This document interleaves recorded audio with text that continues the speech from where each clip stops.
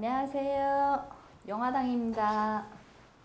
안녕하세요. 금화신당입니다. 자, 오늘은 저희가 사주를 드릴 거거든요. 네, 89년에 네, 12월 15일생입니다. 네. 남자분이시고요. 아, 예.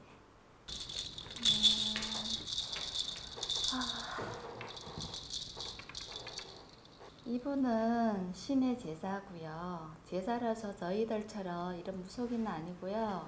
신기가 신가물이 되게 센 집안 자손이라고 보면 됩니다. 좀 고생 마음 고생 많이 한 것 같고 많이 내성적이고 여성스럽고 많이 외로움 많이 타시는 분으로 보이고요. 어릴 때부터 이분은 좀 많이 혼자 고독하게 외롭게 쓸쓸하게 남들하고 많이 좀 어울리지 않은 성향을 갖고 있는 분이고요.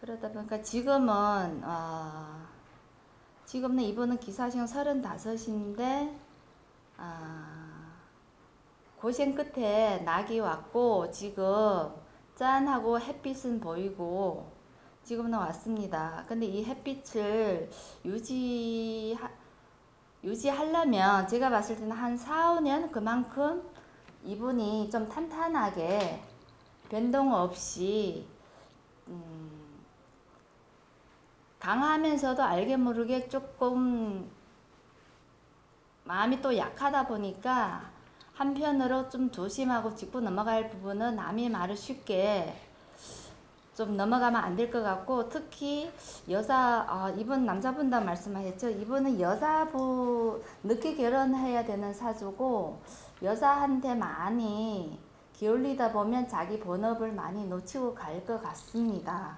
책임감 강하다 보니까 좀 흔들림 없게 가시려면 결혼은 한 40대 한 둘 정도 가시면 좋겠습니다.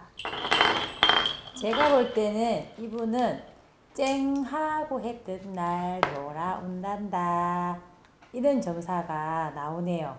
이분이 올해부터는 정말 대운이 들어가지고 지금까지 힘들었던 모든 게 보상받는 운이라고 해운이라고 어, 지금은 들어오고 있습니다. 금전운, 이성운 이 또한 들어오고 있지만 금전은 사실은 갑자기 너무 많이 생기다 보니까 이거를 주체를 할 수가 없는 것 같이 보이거든요.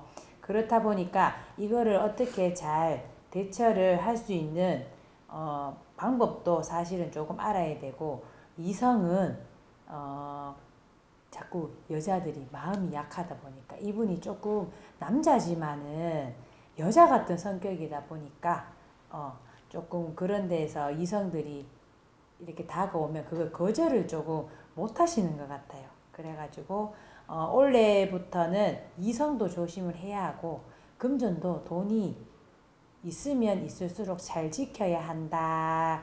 이제 이렇게 어, 어머니께서 알려주시고요. 주위에 기인들은 많으나 기인들은 많으나 그 또한 구설, 시비, 어, 사람들 간의 사기, 투자를 어, 조금 신중하게 알고 어, 하셔야 된다.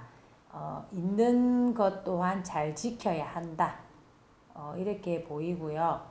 어, 이, 이분이 어, 무대 위에 올라가서 어, 하는 그런 모습도 사실은 조금 보이기는 하나 뭐 가수인가 뮤지컬 배우인가 뭐 이런 정도의 어, 모습도 사실은 어, 보이기도 해요. 이분은 초년에는 정말 고생을 많이 했지만 어, 힘들었어요.